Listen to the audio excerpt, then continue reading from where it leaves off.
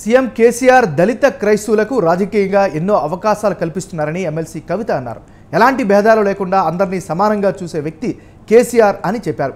CM KCR పాలనలో ఎనిమిదేళ్ళలో ఒక్క మత కలహాలు జరగలేదని గుర్తు చేశారు. తెలంగాణలో అన్ని పండుగలు ఎంతో ఘనంగా కలిసిమెలిసి జరుపుకుంటున్నామని అన్నారు. తెలంగాణ సాధనలో క్రైస్తవ సోదరుల పాత్ర మరువలేదనిదని చెప్పారు. ముగ్గురు కూడితే అక్కడ యేసు సిద్ధాంతాల ప్రకారం మన మత పెద్దలు ప్రశ్నించడం అనేది తప్పు అనేది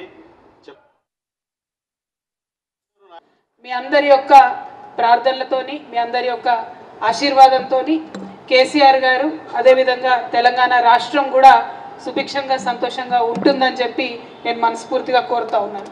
మీ అందరికీ తెలుసు కేసీఆర్ గారు ప్రతి ఒక్కరిని ప్రేమించేటటువంటి వ్యక్తి. వీరు వారు అనే భేదభావం కానీ కులము మతము జాతి అనే భేదభావం కానీ ఉన్నవాడు లేనివాడు అనేటటువంటి భేదభావం భేదభావం కానీ లేకుండా పరిపాలన సాగిస్తున్నటువంటి వ్యక్తి. మన రాష్ట్రం ఇవాళ దేశంలో నంబర్ వన్గా ఉన్నది అంటే కేవలం మనం ఎక్కువ ఎక్కువ ఓట్లు పండిస్తున్నామనో ఎక్కువ ఇండస్ట్రీస్ తీసుకొచ్చినామనో ఎక్కువ ఉద్యోగాలు ఇచ్చినామో అనేటటువంటి అంశాలే కాదు. ఇవాళ దేశమంతా గగ్గోల పరిస్థితులు ఉంటే we should be proud in the state of Telangana in the last eight nine years not even one communal violence issue is there. We have not let that happen. We have made sure that peace prevails in Telangana.